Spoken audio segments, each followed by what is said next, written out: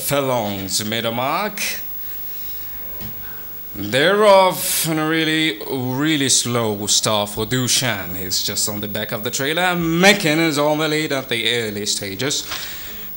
From the outside is The Hag by Medesize is running along on the outside.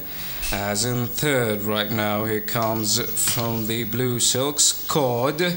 He's running out the outside, could be much better as he come around the turn and he make a superb position for him. As on the lead right now in these stages from the outside of the field, Scott is just settled in second place. Mekin is just going back again and trying to hold on some stamina to get some potentials as they come down to the 6 400 meter mark as they turn for home.